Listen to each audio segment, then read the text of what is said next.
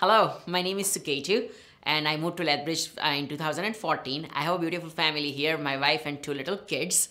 And this year, 2021, I'm just trying to help out uh, in the city and just want to become a part of the city as well to join the council. The reason that I'm joining the council is I want to make all of our voices, all the Lethbridge citizens' voices heard by the city of Lethbridge as we are taxpayers and we help our city to run. So I think our voices should be heard. And the second thing that I really want to be done is reduce the crime, help reduce the crime. I cannot promise that I can do it like right away, but you know, uh, we have steps, we have resources, and if we get the right team in the building, then you know what, we can use that and make it really really nice and at least help reduce the crime and make our city better to live because what i think is people should think in this election and use their voting because I think people at large are always stronger than people in power. That's what I think because it's us as people who bring politicians in the power. So politicians can talk a lot before, but we want it like action to be taken and take the responsibility. So